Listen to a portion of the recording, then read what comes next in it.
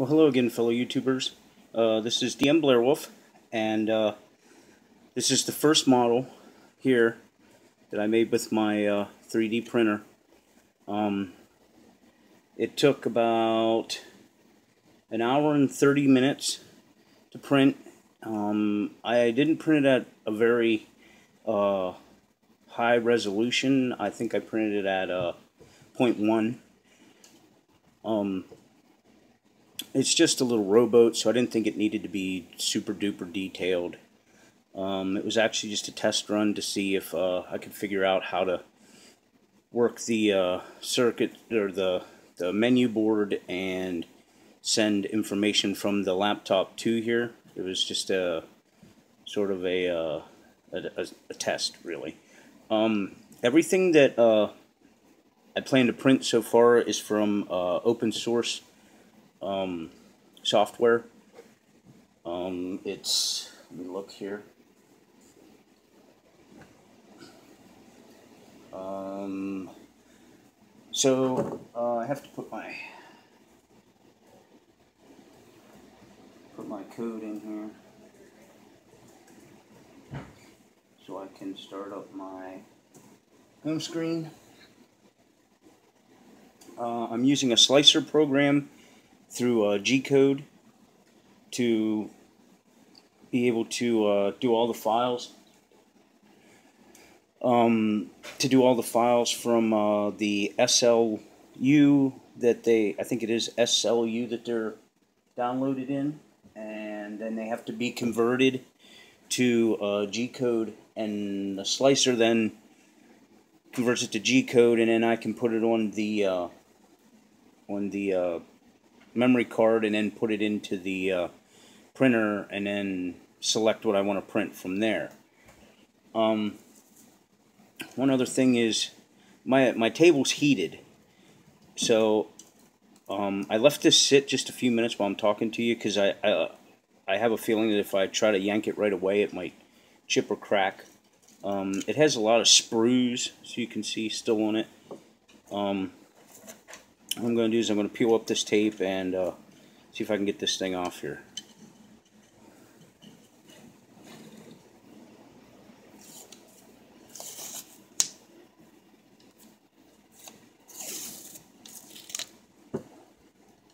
table's hot.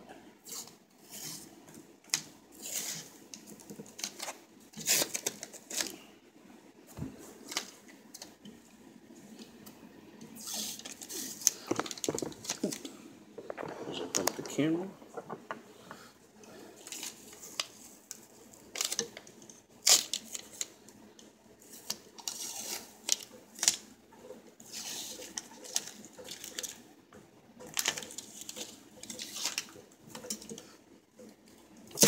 Ah,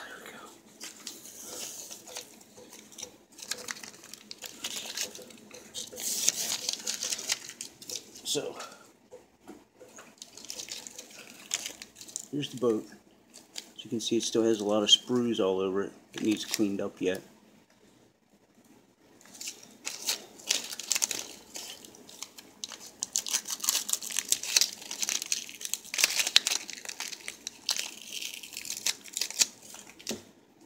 Here's the bottom.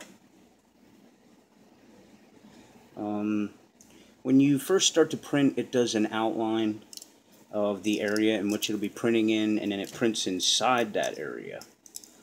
Um, I plan to uh, clean this up and uh, get it going, and uh, I'm going to reposition the uh, camera, and then I'll show you how I plan to clean this up and make it look more like a boat.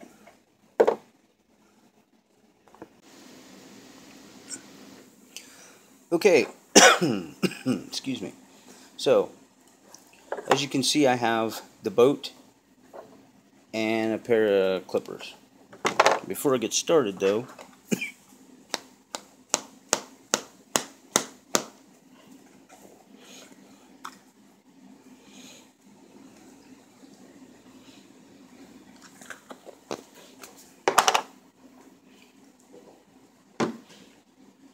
Alright. So, all these little bits and things. I'm going to uh, I'm going to attempt to clean them up.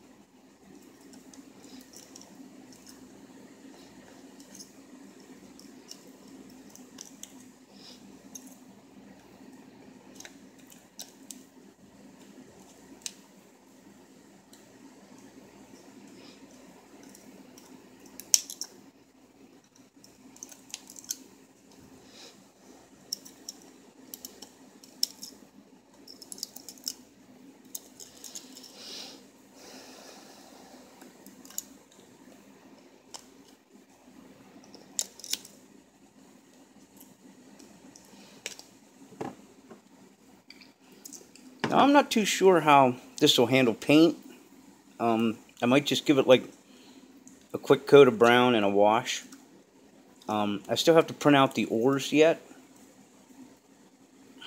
It comes with some oars.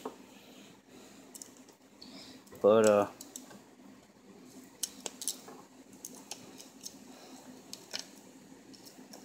I'll clean out this little middle section where the uh, miniature can stand. I'll show you kind of like what I'm gearing towards here. See?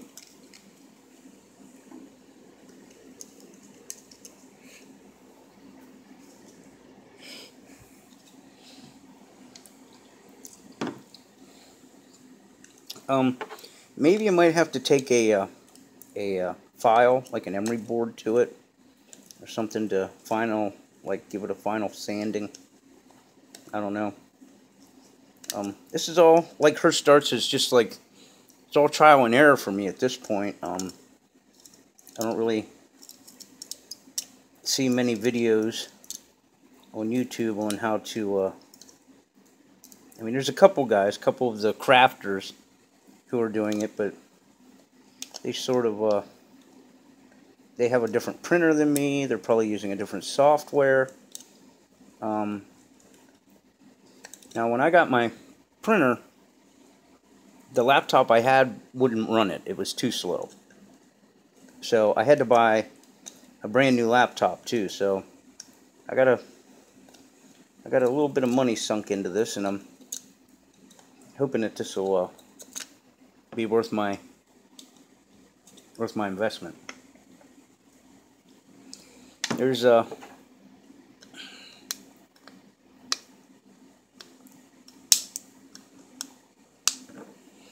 there's uh, two pounds of filament on a reel over there. Um, when I'm done with the boat, I'll uh, kind of pan around and show you uh, the setup and everything that's going on here. Stuff behind the camera you can't see. Uh, I hope I'm talking loud enough that you guys can hear me.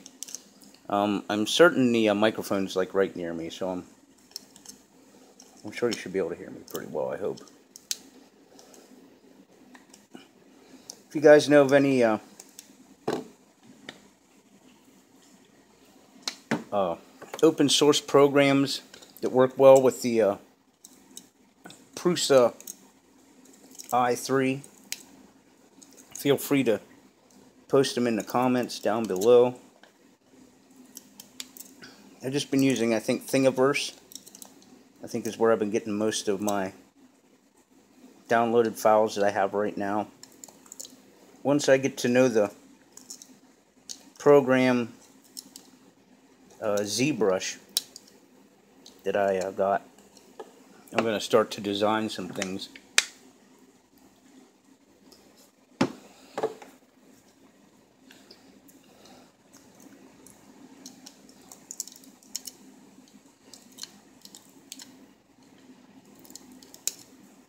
So as you can see, it's it's cleaning up. I mean, it's a little tedious. And these snips they sent with the, uh, that's another thing. They sent me all the tools I needed to build this. Um, sent me the snips, uh, screwdrivers, and a whole other bag of wrenches and stuff like that, that it all came with it. So you don't have to worry about having the right tools. Now, I went with a, a uh, printer that needed to be built. I had to build it myself. Um, I had thought about getting one that was already put together, but I thought the best way to learn the parts and learn how the machine works and to understand it better would be to build it. So, I mean, I would never know that the names of the parts or anything. I mean, I, now I do. I know what everything is and where it goes and how it works. So, that's the reason I got the uh, the kit, the do-it-yourself kit.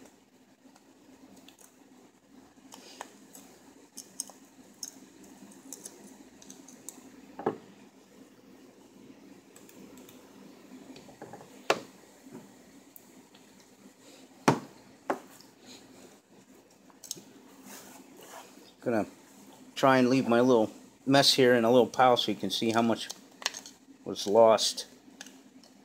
Um, I think my uh, printer may have a setting where I can uh, I can draw the the filament back up into the extruder when it lifts and moves to the next spot, but I haven't figured out exactly how to uh, calibrate that yet. So right now I have to deal with a little bit of waste that I have here, I guess, and I'm going to have till I can figure it out. But it doesn't seem like much is lost, at least so far, in the uh, final product.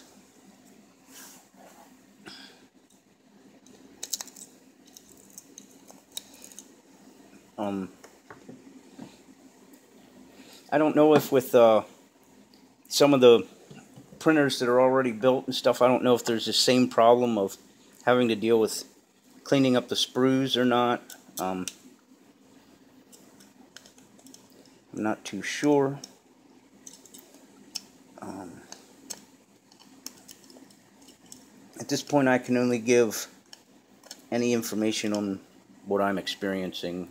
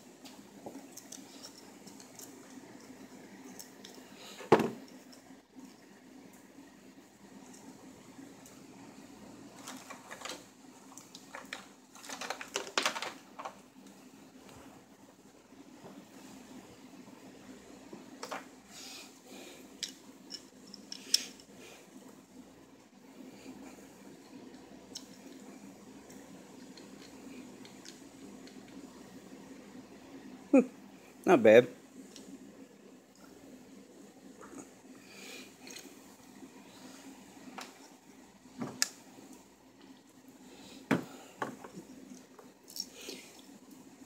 I want to build a uh, a large kind of uh, scenery with uh, hills and trees and stuff and this is going to be perfect for that because I'll be able to print out the trees and then put flock on them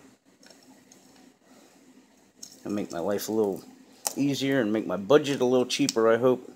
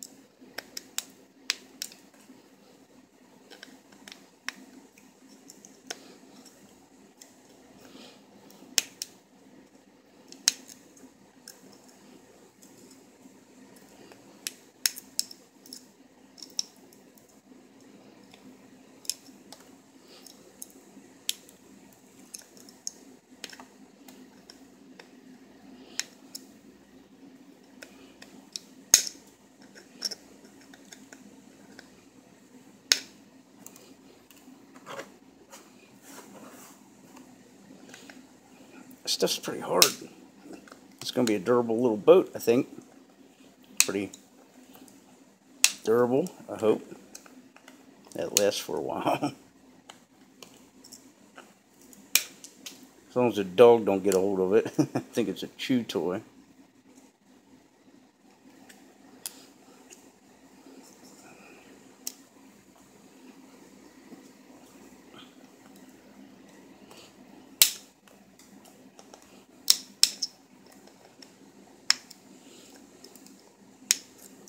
It's almost like trying to take a cast off.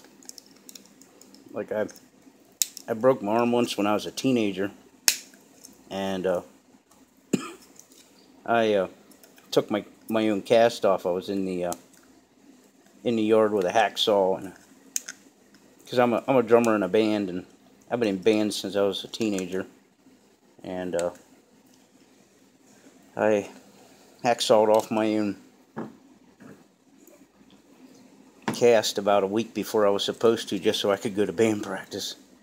so this is kind of what it reminds me of, like cutting through plaster.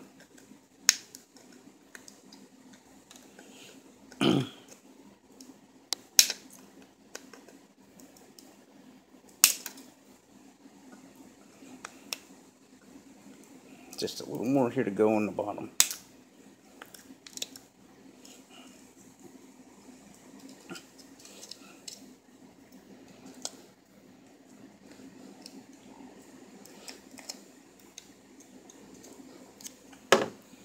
So, essentially this is it. I mean, I don't know if we can get any of this outer, like, overrun off, overspill.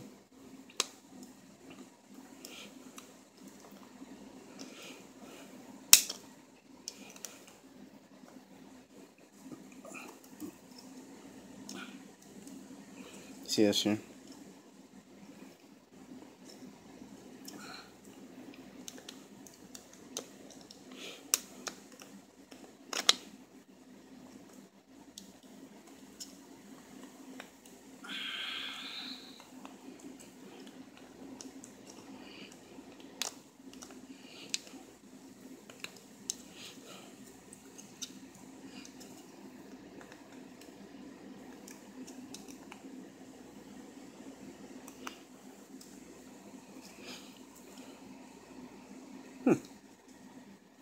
That's pretty nifty.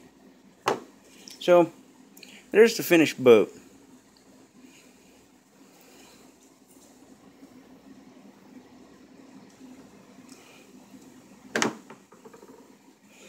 I maybe could have turned the resolution from a millimeter to like point oh well 0.75 maybe or I don't know.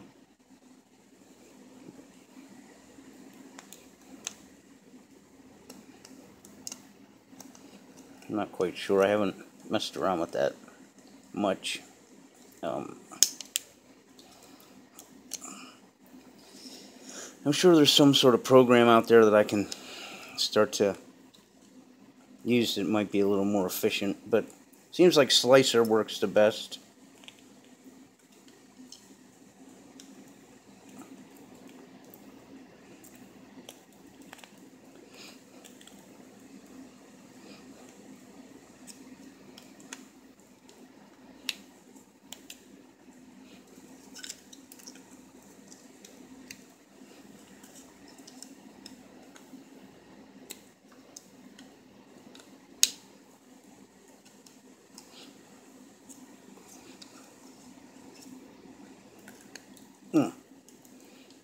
On there.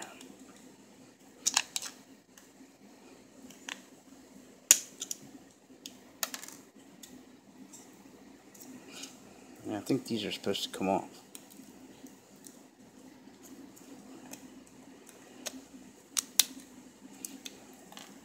So you have the holes for the oars, but as you can see, that's not coming out too well.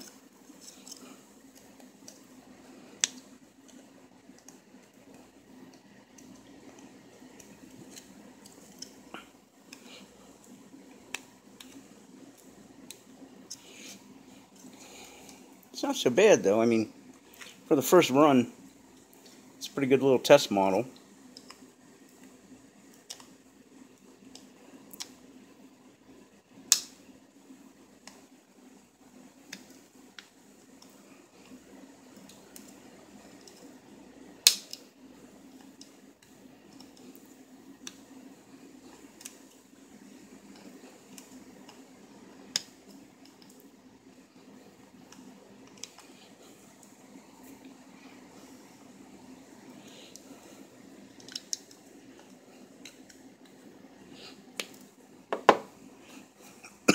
Now, it does need a final touch-up. Excuse me. But, I'll show you here. There's all the little bits that went flying. I want to show you how much overage there was.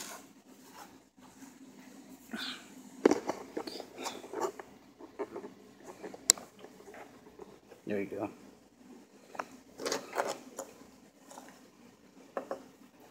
This little rowboat had that much overage left on it, I guess, sprues or, or uh, extra plastic. So, this is the printer here.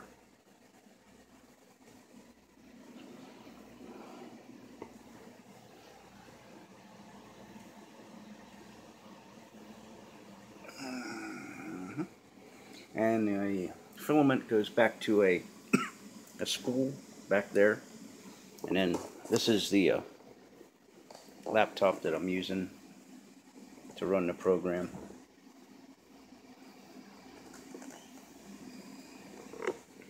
But I thought you guys would like to see now that it's built and it's done its first model what uh, what it can do. I've seen that uh, on the uh, open source program, there's a lot of miniatures and stuff like that that can be printed. so maybe I'll maybe I'll try printing a villain or something and or a miniature and see how that goes. Um, but pretty much uh, that's the first model and um, if you guys have any questions or any ideas or any tips or uh, hints on how to get better quality or to have less waste, feel free to leave it in the comments below. When you go out from this video and there's all those you know other videos and you go down in where the comment section is down there at the bottom feel free to uh, tell me what you think. And uh, until next time guys this is uh, DM. Blair Wolf. And uh, all I can say really is just keep on crafting, set goals, and uh, realistic goals. Set realistic goals, and uh, you know, keep on working hard. Till next time, guys. I'll uh, talk to you later.